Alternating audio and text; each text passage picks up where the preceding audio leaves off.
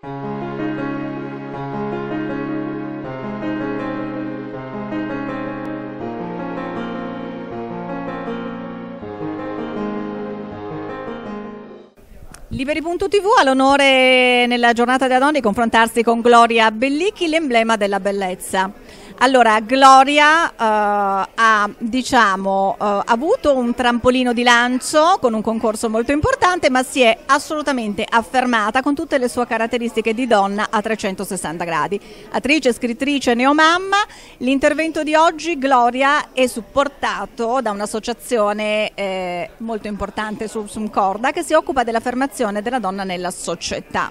Che cosa ci racconterai?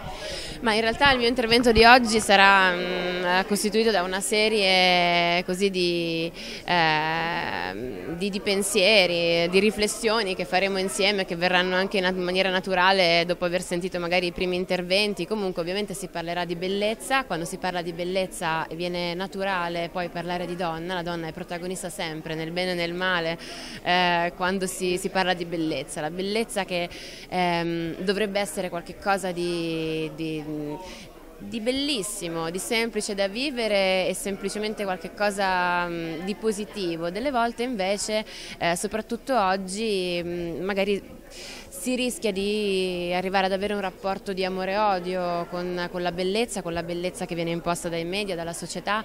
Eh, e quindi appunto come poi farò riferimento nel, durante il mio intervento eh, è paradossale perché soprattutto l'Italia che ha sfornato insomma, artisti che della bellezza hanno assolutamente saputo cosa farne creando capolavori famosi in tutto il mondo. Oggi invece pare eh, che sia difficile convivere e gestire questa bellezza bellezza.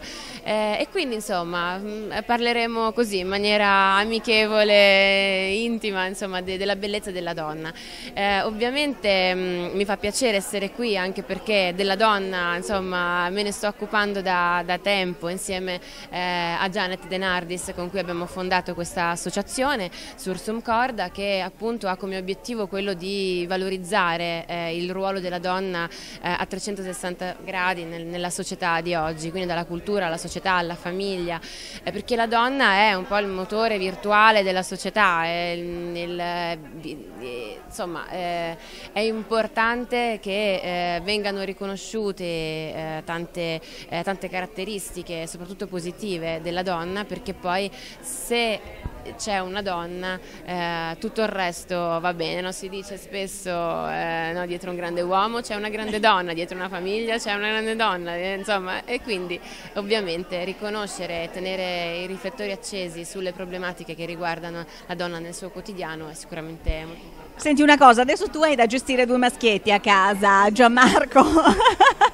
e Giampaolo, il tuo compagno. Io ti chiedo solo questo velocemente, chiudiamo proprio con una battuta. Oggi Papa Francesco ha detto che le donne hanno un cuore paziente. Tu sei più paziente come mamma o come moglie, compagna insomma? Guarda, io sono paziente sempre, cioè come mamma, come moglie, come, come cittadina del mondo, cioè sono molto paziente.